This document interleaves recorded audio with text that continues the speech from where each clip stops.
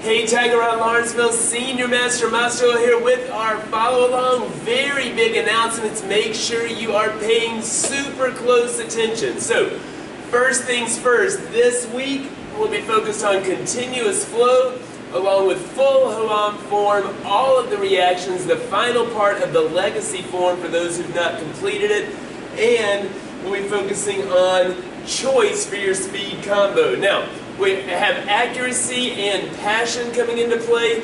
The other two hybrids, which are drawing strikes and stalling, and also doing all of our reactions. So all of that stuff is going to come into play this week as we prep for tournament. Now, tournament talk.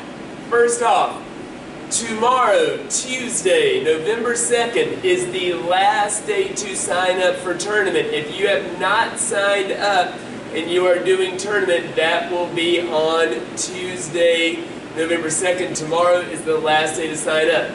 Next, we just came off of an awesome, awesome Halloween party. That was a blast. Be sure to congratulate and thank the instructor team.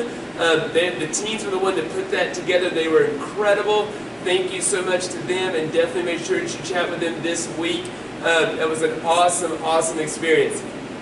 Then, Tournament is November the 6th. It's this coming Saturday. Now, I've sent out the times. Make sure that you got the times. I also have printed on there the times again, so make sure you have that. But in addition on that, we will not have classes on Saturday. So obviously we're not going to have classes because we'll be in Marietta at the tournament. So plan ahead for that. It's a big week. Let's make sure everybody is ready be here as much as you can this week, and I will see you soon on the mats.